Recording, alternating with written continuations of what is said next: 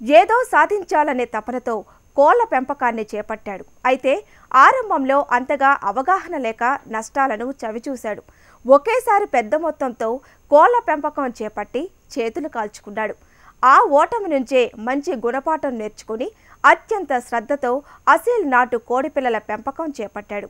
ఓటమే రేపటి విజయానికి నాంది అనటానికి నిదర్శనంగా నిలిచాడు మహబూబ్ నగర్ జిల్లా రైతు లక్ష్మణ్. మరి ఈ రైతు విజయ గాథని తెలుసుకుందాం. ఇవాళ మన నేలతల్లి కార్యక్రమంలో.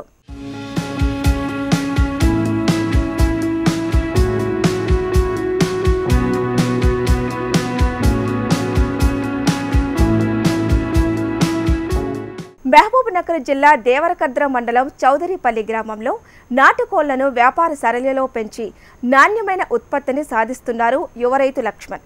పెంపకానికి దేశీ బ్రీడ్ ఆశలను ఎంచుకున్నాడు ఈ రైతు. మొదట్లో అవగాహన లోపంతో నాటుకోళ్ళ పెంపకంలో నష్టాలను చవిచూసిన లక్ష్మణ్ ఆ తర్వాత పూర్తి స్థాయి మెలకువలను నేర్చుకొని అసీల్ దేశీ జాతి కోడిపిల్ల ఉత్పత్తిని ప్రారంభించాడు. ఇందులో ప్రతి నెల లక్ష యాభై వేల రూపాయల నికర ఆదాయాన్ని పొందుతున్నాడు. అందరికీ ఆదర్శంగా నిలుస్తున్నాడు.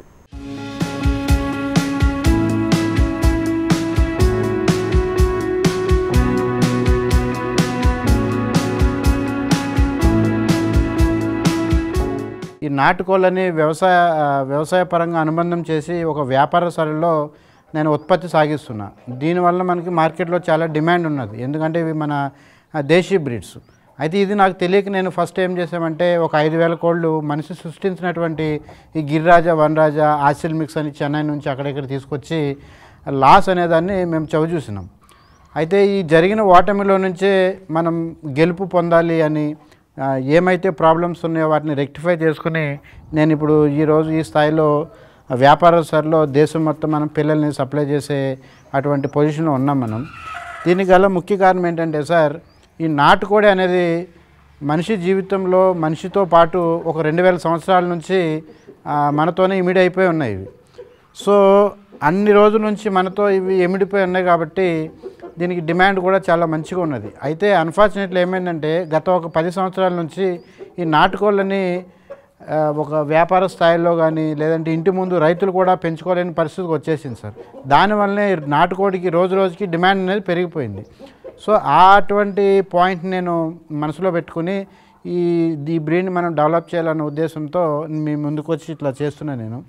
అయితే ఈ నాటుకోళ్ళు అనగానే అందరికీ గుర్తుకొచ్చేది ఈ మధ్యకాలంలో ఒక వెయ్యి పిల్లలు రెండు వేల పిల్లలు తీసుకొస్తున్నారు. సో దాని యొక్క ముఖ్య కారణం ఏంటంటే అవగాహన లేదు రైతులకి. రెండు వేల కోడి పిల్లలు ఎక్కడి నుంచి వస్తాయి? రావు. సో అందుకని మనం ఏం చేయాలి? ఆసిల్ అనే ఒక మన దేశీ కోడిని మనం డెవలప్ చేయాలి. ఆసిల్ అంటే ఏంటంటే అసలు మురుగా అని అర్థం. ఉర్దూలో అసలు అంటారు. అసలు అంటే అసలైన కోడి అని అర్థం. సో అందుకని మనం రైతు మిత్రులారా మీరు ఏం చేయండి? ఇళ్ళలో పెరిగేటువంటి నాటుకోళ్ళని కానీ లేకపోతే దానికంటే కొంచెం పెద్ద సైజులు ఉంటాయి. ఆసిల్ అని ఒకటి దొరుకుతుంది. పందెం కోళ్ళు అంటారు చూడండి. ఆ కోళ్ళతో మీరు వ్యాపార స్థాయిలో దాన్ని ఉత్పత్తి ఎక్కువ చేయండి. దాని నుంచి ఏమైందంటే మీకు రెగ్యులర్గా మార్కెట్లో దాని డిమాండ్ అనేది ఉంటుంది. సో ఆ డిమాండ్ మీరు క్యాచ్ చేయగలుగుతారు. సాధారణంగా కోళ్ళ పెంపకం చేపట్టాలనుకునే రైతులు ఒకేసారి పెద్ద మొత్తంలో ప్రారంభిస్తారు. ఇలా చేయటం వల్ల నష్టాలు తప్పవని అంటున్నాడు రైతు లక్ష్మణ్. రైతులు ముందు జాగ్రత్తతో తక్కువ మొత్తంలో కోళ్ళ పెంపకం చేపట్టి పెట్టుబడులను తగ్గించుకుని ప్రతి నెల నికర ఆదాయాన్ని పొందాలంటున్నారు. మార్కెట్ అవసరాలకు అనుగుణంగానే ఉత్పత్తి చేపట్టాలని సూచిస్తున్నాడు. ఒకేసారి కోళ్ళు తీసుకురావద్దు. ఎందుకంటే ఒకేసారి తీసుకొస్తాం ఒక నాలుగు నెలలు పెంచుతాం కానీ ఒకేసారి దాన్ని మనం అమ్మలేము. సో దానివల్ల ఏం జరుగుతుంది? మేత ఖర్చు దానా ఖర్చు పెరిగిపోతుంది అనమాట సో అందుకని మీరేం చేయండి? కొన్ని కోళ్ళతో ఉత్పత్తిని స్టార్ట్ చేయండి. సో మనకు వారానికి ఒకసారి ఉత్పత్తి వస్తుంది. పది రోజులకు ఒకసారి ఉత్పత్తి వస్తుంది. అవి నాలుగు నెలల తర్వాత వారం వారం సేల్ అవుతూ ఉంటుంది అనమాట దాని నుంచి ఏమవుతుంది రైతుకి ఒక రెగ్యులర్ ఇన్కమ్ అనేది స్టార్ట్ అవుతుందనమాట ఒక పెట్టకి ఎన్ని పుంజులు కలపాలన్న విషయం సరిగ్గా తెలియదు. సో మీరు కనుక ఫ్రీగా తోటలో కనుక వదిలేటైతే ఒక కోడికి ఒక పుంజుకి ఇరవై పెట్టలైనా ప్రాబ్లం లేదు. అదే మీరు ఒక షెడ్లో పెంచినారనుకోండి ఒక పుంజుకి ఒక పది నుంచి పదిహేను పెట్టలు ఉన్నా సరిపోతుంది. అయితే పుంజు పుంజు కొట్టుకోకుండా మీరు సెపరేట్గా తాళ్ళతో కట్టేస్తే ఏ ఫీమేల్ అయితే క్రాసింగ్ చేయించుకుంటుందో దా పుంజు దగ్గరికి వెళ్ళి ఆటోమేటిక్గా క్రాసింగ్ చేయించుకోవడం అంటే జరుగుతుందనమాట అందుకని ratio most important sir. Ten నుంచి ఫిఫ్టీన్ వరకే ఉండాలి లోపల పెంచేటైతే. అదే మీరు ఫ్రీ రేంజ్లో అయితే మాత్రం ఒక పుంజుకి ట్వంటీ పెట్లు కూడా సరిపోతాయి. దానివల్ల ఏమైందంటే గుడ్డు ఫెర్టైల్డ్ ఎగ్ వస్తుంది. ఫర్ ఎగ్జాంపుల్ ఒక ఫీమేల్ అనేది మేల్తో క్రాసింగ్ చేయించుకోలేదు అనుకోండి డైలీ ఆ ఎగ్ అనేది పొదిగించిన పిల్ల కాదు. అట్లీస్ట్ థర్టీ ఎయిట్ అవర్స్ ఒకసారి ఒక పుంజు ఒక పెట్ట కలవాలి. అప్పుడే ఫెర్టైల్ ఎగ్ వస్తుంది. లేదంటే ఆ వచ్చిన గుడ్డు పొదిగించిన పిల్ల కాదు. అంటే స్వచ్ఛత అని అర్థం. ఈ జాతి కోళ్ళనే లక్ష్మణ్ పెంచుతున్నాడు. ఇవి బాగా బలంగా టీవీతో అలాగే రోగాలను తట్టుకునే శక్తి ఎక్కువగా దెబ్బలాడే గుణం కలిగి ఉంటాయి. ఈ జాతి కోళ్ళకు ఆంధ్రప్రదేశ్ రాష్ట్రం పుట్టినిల్లు. ఈ కోళ్ళు చాలా పెద్దవిగా అందంగా ఉంటాయి. పుంజులు మూడు నుంచి నాలుగు కిలోల బరువు ఉండి పెట్టెలు రెండు నుంచి మూడు కిలోల బరువు ఉంటాయి. అసీల్ జాతి కోళ్ళలోనూ మూడు రకాలు ఉన్నాయి. ఇందులో ఏ రకమైన కోళ్ళను పెంపకానికి ఎన్నుకోవాలి? మాంసం ఉత్పత్తికి ఏ రకాలు అనుకూలం వంటి విషయాలను రైతు లక్ష్మణ మాటలోనే ఇప్పుడు విందాం. ఎవరైతే బ్రీడింగ్ చేస్తున్నారో ఎవరైతే కోళ్ళని పెంచుతున్నారో వాళ్ళు గుడ్లు వాళ్ళ దగ్గరికి పోయి ఫస్ట్ పేరెంట్ స్టాక్ ఎట్లా ఉందో చూ మీరు చూడాలి. లేదంటే మాత్రం మనం లాస్ జరుగుతుంది. సో ఆసిల్ బ్రీడ్ మాత్రం మీరు పెంచడానికి మీరు చూడండి ఫ్రెండ్స్. ఎందుకంటే చూసినారు కదా ఇది ఆసిల్ అంటారు దీన్ని. ఇది దీని క్యారెక్టర్ చూడండి. మరి ఇంత హెవీ సైజ్ ఉంటుంది.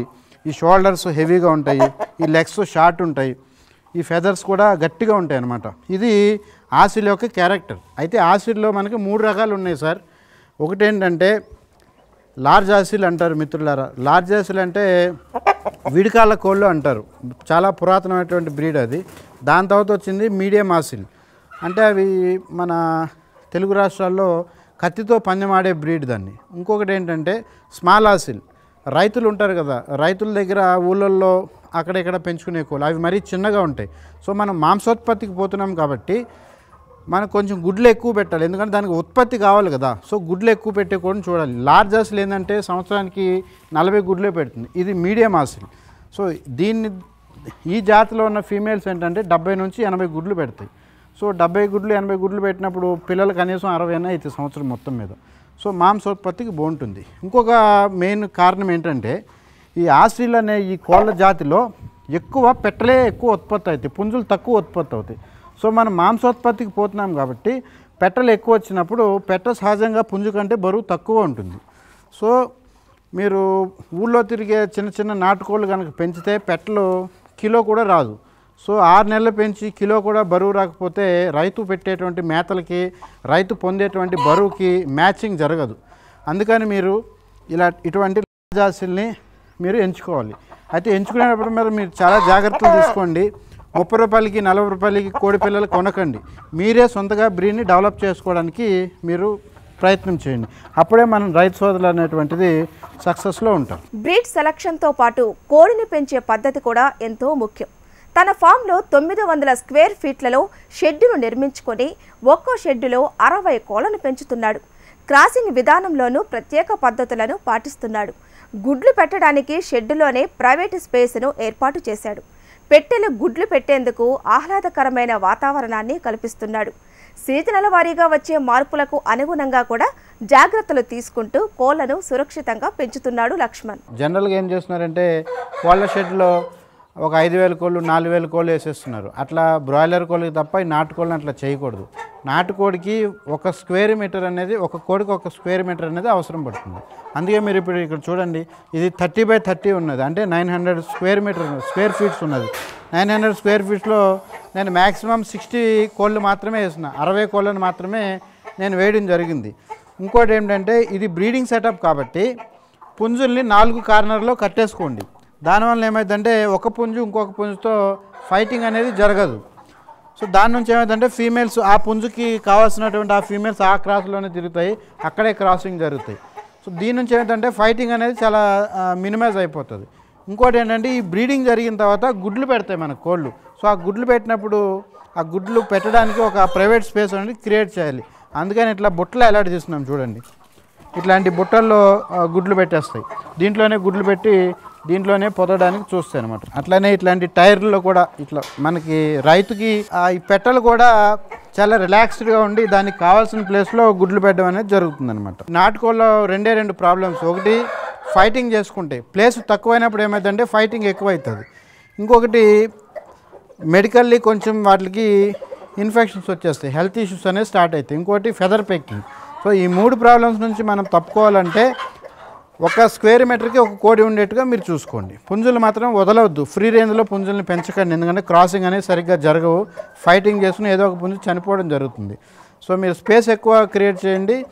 ఎక్కువ గుడ్లు అనేది రావడం జరుగుతుంది. వ్యాపార సరళిలో మాంసం ఉత్పత్తి చేస్తున్నాము కాబట్టి కోడిపిల్ల బరువు గురించి తప్పక ఆలోచించాలంటున్నాడు లక్ష్మణ్. పుట్టినప్పటి నుంచి ప్రత్యేక శ్రద్ధతో పోషకాలతో కూడిన దానాను అందించాలంటున్నాడు.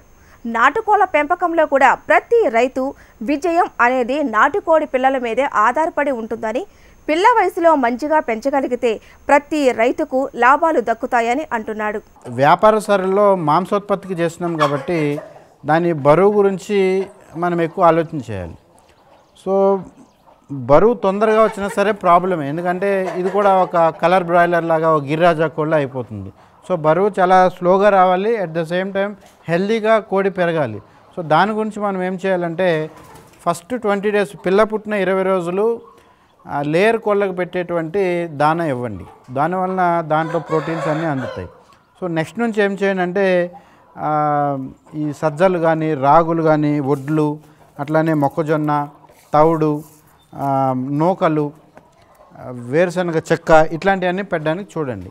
అయితే దీంట్లో మనం గమనించవలసింది ఏమిటంటే మీరు కనుక బ్రీడింగ్ ఫామ్ కనుక చేస్తున్నారంటే గుడ్ల గురించి చేసి దాన్ని పిల్లలు చేసి పిల్లలు అమ్మే ప్రొసీజర్లో కనుక ఉంటే కోడికి ఎయిటీన్ పర్సెంట్ నుంచి ట్వంటీ పర్సెంట్ ప్రోటీన్ ఉండాలి. పేరెంట్ బర్డ్స్కి ఎప్పుడు కూడా eighteen to twenty percent protein అవసరం పడుతుంది. అదే మీరు మాంసోత్పత్తి కనుక పోతే ఫోర్టీన్ టు సిక్స్టీన్ పర్సెంట్ అవసరం పడుతుంది. దాని గురించి మీరు ఏం చేయండి మాంసోత్పత్తి కనుక మీరు వెళ్ళినట్లయితే ఫీడ్ కాస్ట్ తగ్గించుకోవాలి. దాని గురించి మీరు అజోల్లా అని ఈ మధ్య బాగా ప్రాచుర్యం పొందింది. అజోల్లా ఇవ్వండి. అట్లనే హైడ్రోఫోనిక్ ఫోడర్ అని ఒకటి వచ్చింది. అంటే మొలకల విత్తనాల్ని మొలకెత్తించి దాన్ని పెట్టడం. దాని నుంచి ఏమైందంటే ఒక కిలో అయ్యే దాంట్లో పది కిలోల ఫీడ్ వచ్చేస్తుంది. సో దాని గురించి హైడ్రోఫోనిక్ చేయడం మొదలుపెట్టండి అట్ ద సేమ్ టైం మీరు ఆకుకూరల్ని మన ఫామ్ పక్కనే ఒక పావు ఎకర్లోనో లేకపోతే రెండు మూడు బంధాలు చేసుకుంటే మీకు ఫీడ్ కాస్ట్ అనేది తొందరగా తగ్గిపోతుంది. ఇంకొకటి సీజన్ వైజ్గా మీరు రైతు మిత్రులారా సీజన్ వైజ్గా మీరు ధాన్యం కానీ వడ్లు కానీ వడ్లు కానీ తైదలు కానీ సజ్జలు కానీ సీజన్ వైజ్గా కొనుక్కోండి. ఆ టైంలో ఏంటంటే ఫీడు కొంచెం తక్కువ కాస్ట్లో దొరుకుతుంది. పుట్టిన పిల్లప్పటి నుంచి మీరు వ్యాక్సిన్స్ అనేది హండ్రెడ్ పర్సెంట్ ఫాలో కండి. ఇప్పుడు పుట్టిన వెంటనే మ్యారక్స్ అనేది ఇస్తారు. అది మీరు ఇచ్చినా పర్లేదు ఇవ్వకపోయినా పర్లేదు. ఎందుకంటే ఇవి నాటుకోళ్ళు కాబట్టి ఆ ప్రాబ్లం అంతా రాదు. సో బట్ సెవెంత్ డే మాత్రం లసోట ఇవ్వండి. ఫోర్టీన్త్ డే గంబోర ఇవ్వండి. సో అగైన్ మళ్ళీ ట్వంటీ ఎయిత్కి లసోటా మళ్ళీ ముప్పై రెండో రోజు కానీ ముప్పై నాలుగో రోజు కానీ మళ్ళీ మీరు లసోటా బూస్టర్ డోస్ ఇవ్వండి. దాని తర్వాత నలభై నుంచి యాభై రోజుల్లో ఫోల్ ఫ్యాక్స్ వ్యాక్సిన్ ఇవ్వండి. సో నేను ఈ విధంగా చెప్పినట్టువన్నీ ఏడో రోజు లసోటా పద్నాలుగో రోజు గంబోరా ఇరవై ఎనిమిది మళ్ళీ లసోటా బూస్టర్ డోస్ ముప్పై రెండో రోజు గంబోరా ఇవ్వండి. నలభై నుంచి యాభై రోజుల లోపల మీరు ఫోల్ ఫాక్స్ ఇవ్వండి. సో ఈ విధంగా ఫస్ట్ యాభై రోజుల్లో కనుక మనం వ్యాక్సిన్స్ అనేది కనుక చేస్తే కోడి కనీసం ఒక టెన్ టు ఫిఫ్టీన్ ఇయర్స్ బతుకుతుంది. ఆ రోజుల్లో ఆరోగ్యపరమైనటువంటి ఏ విధమైన సమస్య రాదు. అందుకని రైతు మిత్రులారా వ్యాక్సిన్స్ మాత్రం మీరు కంపల్సరీ ఫాలో కండి. ఇంకోటి ఏంటంటే పిల్లలకి వ్యాక్సిన్స్ కరెక్ట్గా నేను చెప్పినట్టు ఇవ్వండి. బట్ ప్రతి ఫార్మర్కి ఉన్నటువంటి ఒకటే ఒకటి ప్రాబ్లం ఏంటంటే ఈ పొడి చేసుకుంటున్నాయి సార్ అని చెప్తారు నాకు అందరూ. చాలామంది ఫోన్ చేసి చెప్తారు. ఎందుకు పొడుచుకుంటాయంటే సార్ తక్కువ ప్లేస్లో ఎక్కువ కోళ్ళు పెంచేస్తారు. బ్రాయిలర్ కోళ్ళు పెంచినట్టు పెంచేస్తారు. అట్లా పెంచొద్దు. మీరు ఎక్కువ ప్లేస్లో తక్కువ కోళ్ళు పెంచడానికి చూడండి. అట్లానే ఒక నెల రోజులు మీరు తక్కువ ప్లేస్లో ఎక్కువ కోళ్ళు పెంచినా పర్లే బట్ నెల రోజుల తర్వాత మళ్ళీ ఇంకొక నెల రోజులు ప- ఒక ట్వంటీ డేస్ మీరు ఏం చేయండి ఇట్లా కేజెస్లో పెంచడానికి మీరు ప్లాన్ చేయండి. ఇప్పుడు ఈ కేజెస్లో చూడండి థర్టీ కోళ్ళు ఉన్నాయి. ప్రతి కోడికి కూడా తోక అనేది ఉన్నది చూసినారా? ఎక్కడా కోడి పొడుచుకోవట్లేదు. ఎందుకంటే తక్కువ ప్లేస్లో ఎక్కువ కోళ్ళు ఉన్నప్పుడు స్ట్రెస్ ఫీల్ అయిపోతాయి. ఎందుకంటే కంజెస్టెడ్ అయిపోయి స్ట్రెస్ ఫీల్ అవుతాయి. అందుకని ఎక్కువ ప్లేస్లో తక్కువ కోళ్ళు పెంచండి. అప్పుడేమవుతుందంటే స్ట్రెస్ ఫీల్ కాదు. కోడి ఎప్పుడైనా సరే హీట్ టెంపరేచర్ బాగా ఎక్కువైపోయినప్పుడు పొడుచుకుంటాయి. రెండోది స్ట్రెస్ ఫీల్ అయిపోతాయి. ఎక్కువ ప్లేస్ ఎక్కువ కోళ్ళు ఉంటాయి తక్కువ ప్లేస్లో. అప్పుడు స్ట్రెస్ ఫీల్ అయినప్పుడు ఫెదర్ పెక్కింగ్ అనేది వస్తుంది. ఇంకొకటి డీకంజెస్టెడ్ అవుతుంది కంజెస్టెడ్ లేకుండా తక్కువ కోళ్ళని ఎక్కువ ప్లేస్లో పెంచండి. ఈ మూడు కనుక మీరు ఫాలో కండి కోడికి ఫెదర్ పెక్కింగ్ ఉండదు. ఎందుకంటే మీరు ఇక్కడ చూడండి మనం పెంచే కోళ్ళని అచ్చంగా దేశీ కోళ్ళలో మీడియం ఆసిల్ అంటారు. అంటే కత్తితో పందెమాడేటువంటి కోళ్ళని నేను మాంసోత్పత్తికి చేస్తున్నాను సో మీరు ఇక్కడ చూసినారా కోడి ఎంత షార్ప్ ఉన్నదో ఈ ముక్కు అనేది. సో ఈ ముక్కు ఇలా షార్ప్ ఉన్నప్పుడు పొడుచుకోవాలన్న ఒక ఉద్దేశం ఉంటుంది. సో అందుకని మీరు నేను చెప్పినటువంటి మూడు పాయింట్స్ మీరు ఫాలో కండి. ఫెదర్ పెకింగ్ అనేది చాలా వరకు కంట్రోల్ అవుతుంది అనమాట సో మీరు ఇక్కడ చూసినారు కదా ప్రతి కేజీలో కూడా ఓన్లీ ముప్పై పిల్లలే ఉన్నాయి. కానీ ప్రతిదానికి హెల్దీగా ఉన్నాయి. ఏ కోడి పొడుచుకోవడం అనేది జరగలేదు. ఇంకొకటి ఎక్కువ ఫీడ్ ఇవ్వడానికి ట్రై చేయండి. ఎందుకంటే ఫీడ్ ఎక్కువ తినడం వల్ల కూడా అవి పొడుచుకునే అన్న ఫీలింగ్ ఉండదు. ఇప్పుడు మీరు ఇక్కడ చూస్తున్నారు కదా రైతు మిత్రులారా ఈ మూడు కోడి పిల్లలు కూడా నెల రోజులు కోడి పిల్లలు. మీరు ఇక్కడ చూడండి నెల రోజులు ఉన్నాయి. ఇరవై ఎనిమిది రోజుల పిల్లలు ఇవి. మీరు ఇక్కడ చూడండి దగ్గర దగ్గర ఎనిమిది వందల గ్రాములు ఉన్నాయి. అట్లానే మీరు ఇంకొక విషయం గమనించండి. ఎంత మనం జాగ్రత్త తీసుకున్నా సరే పొడుచుకుంటూ ఉంటుంది. అలా పొడుచుకున్నప్పుడు ఏం చేయండి పొడుచుకున్నప్పుడు మీరు ఇట్లాగా విడదీయండి. కోళ్ళని విడదీసి సెపరేట్గా చేయండి. ఇలా చేసిన తర్వాత పొడుచుకున్న చోట మీరు మీరు నీమ్ ఆయిల్ అని ఒకటి ఉంటుంది. అంటే ఆ వేప నూనె అంటారు చూడండి. ఆ వేప నూనె అది పొడుచుకునే అటువంటి ఆ ప్లేస్లో పెడితే చేదుగా ఉండి వేరే కోడి మళ్ళీ పొడుచుకోవడం అనేది జరగదు. ఇప్పుడు ఇక్కడ మీకు మీరు చూస్తున్నారు కదా ఇది మన ఫామ్లో పుట్టినటువంటి కోడి. రెండు నెలల కోడి ఇది. దగ్గర దగ్గర రెండు నెలలు ఉన్నాయి. కిలో వచ్చేసింది. అట్లానే కోడి ఎక్కడ పొడుచుకోవడం అనేది జరగలేదు చూసినారా మొత్తం ఫుల్ తోక ఉన్నది. నేను అందరు రైతులు కట్ చేసినట్టుగా ముక్కుని కట్ చేయలేదు. దాన్ని దాని షార్ప్గా ఉన్నది. దీనివల్ల ఏమైందంటే కోడికి మార్కెట్లో వాల్యూ ఉంటుంది. కోడిగుడ్లను సహజ పద్ధతుల్లో పొదిగించటం వల్ల కొన్ని సమస్యలు వస్తున్నాయి. అందుకనే ఇంక్యుబేటర్ను ఏర్పాటు చేసుకుని సురక్షితంగా గుడ్లను పొదిగిస్తున్నాడు లక్ష్మణ్. మరి ఈ ఇంక్యుబేటర్ ఏ విధంగా పనిచేస్తుంది? దీన్ని రైతులు ఏ విధంగా ఉపయోగించాలి? దీని సహాయంతో రైతు ఎన్ని గుడ్లను ఒకేసారి పొదిగించుకోవచ్చు? గుడ్లు పొదగటానికి ఎంత సమయం పడుతుందో ఇప్పుడు చూద్దాం. మన ఫామ్లో ఇంక్యుబేటర్ సార్ ఇది. ఇది థౌజండ్ కెపాసిటీ ఇంక్యుబేటర్ సార్. ఇట్లాంటివి మనకి రెండు ఉన్నాయి ఈ ఫామ్లో.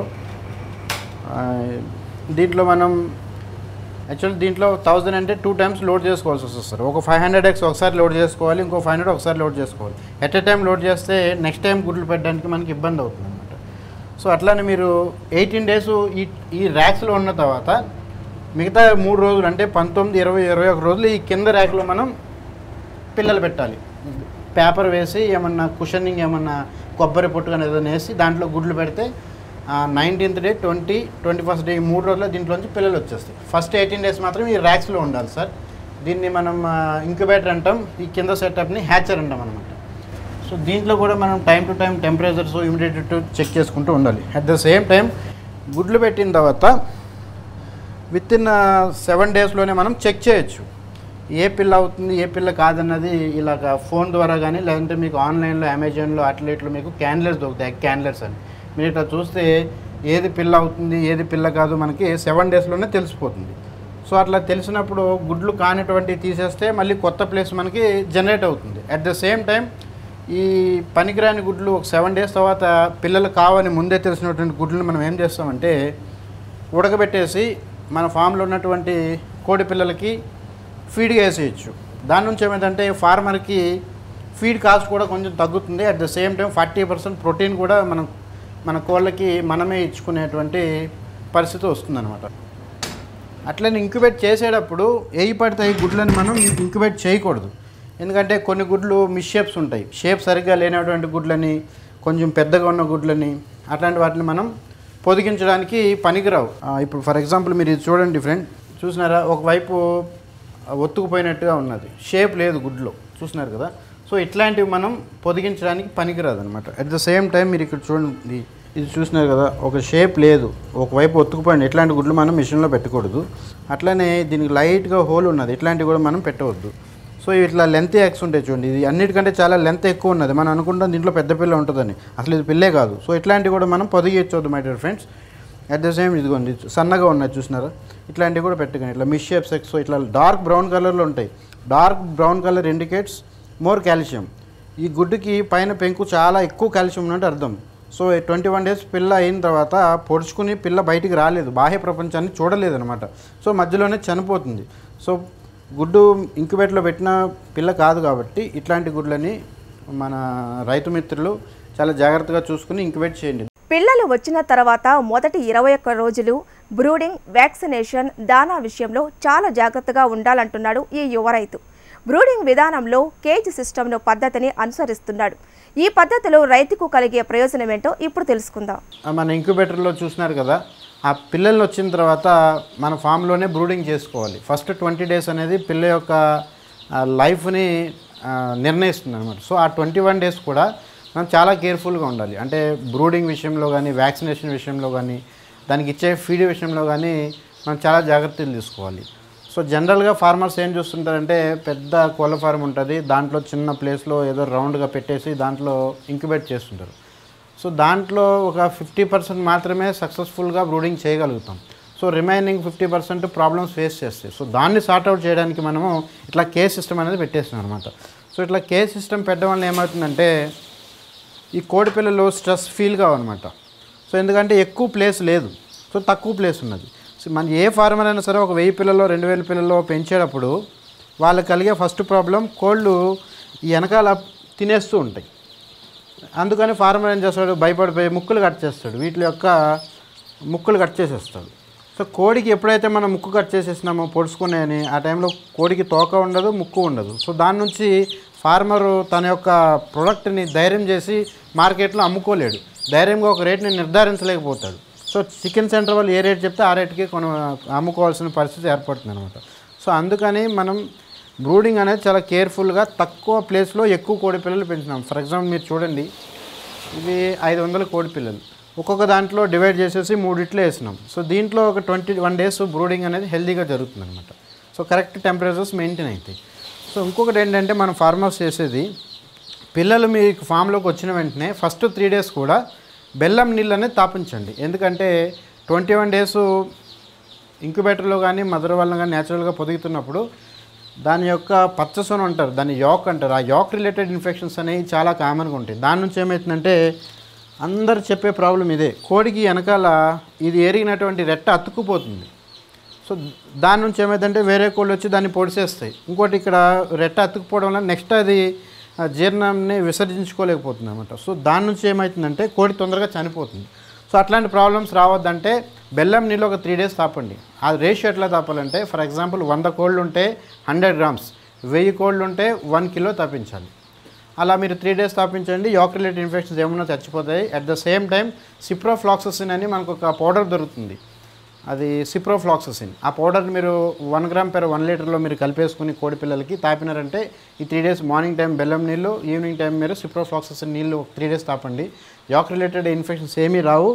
ఈ కోడికి వెనకాల ఏమి అతుక్కోదు. ఇంకొకటి మరీ ఎక్కువ టెంపరేచర్ ఉన్నా సరే కోడికి వెనకాల అతుకుపోతుంది అది ఏరిగినటువంటి అతుకుపోతుంది మరీ తక్కువ extreme weather conditions like too much hot or too much cold ఈ రెండు టైమ్స్లో వెనకాల అతుక్కుపోయే ముడ్డి కాడ అది ఎరిగింది అతుకుపోయే సమస్య వస్తుందన్నమాట. అందుకని ఫార్మర్స్ మీరు ట్వంటీ వన్ డేస్ కూడా ఎగ్జాక్ట్లీ థర్టీ త్రీ డిగ్రీస్ మీరు మెయింటైన్ చేయండి. టెంపరేచర్ని సరిపోతుంది.